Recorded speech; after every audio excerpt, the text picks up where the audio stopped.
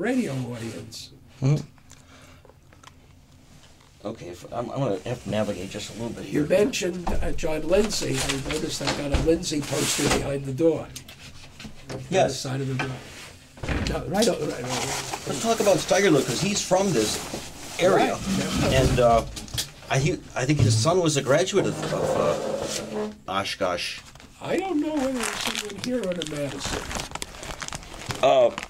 I don't know about the elder Steiger, but there was a father son.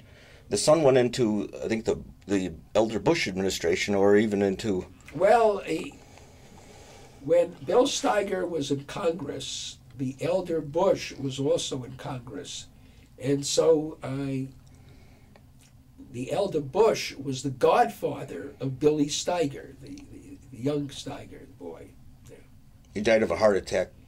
Yeah, well, well he had uh, uh, had uh, childhood diabetes, and so he had this susceptibility, which we didn't realize. But it, he died quite young, about 1980.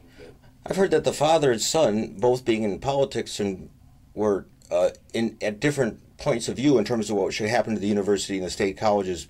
Someone mentioned this to me that there was a headline said Steiger. Oh, it was uh, Fred Rizzer. He said he saw a headline one time Steiger versus Steiger, and it was about the father and sons quarreling about the uh, pr- proposed policies for higher education. Do you remember anything about that? Well, which Steiger you talked about? You talked about Congressman Steiger's father, who was Carl Steiger, who was a businessman, but he was also a regent okay. at the university, and a, he, he, he owned, I guess, a, a, a carpet company, and he, he had some real estate property. And of course, the Steiger Parks in Oshkosh uh, are the uh, located where the, the the elder Steiger had some business. Okay, and then his son went into the uh, Congress, and then Well, Bill Steiger, while he was a student at Madison, was active in politics.